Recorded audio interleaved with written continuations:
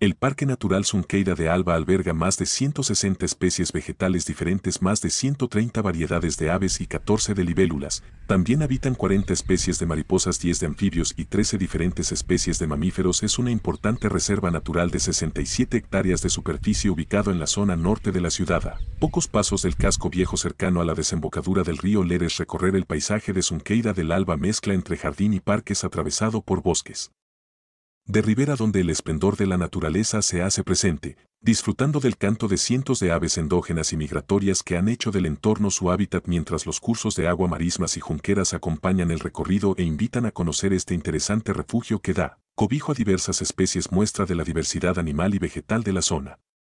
Para mantener la calidad de los espacios, las camineras y zonas para el avistamiento de aves son periódicamente restauradas así como se crean nuevos miradores que permiten visualizar todo el parque y sus alrededores abierto al público en toda época del año todos, los días de la semana las 24 horas con entrada gratuita.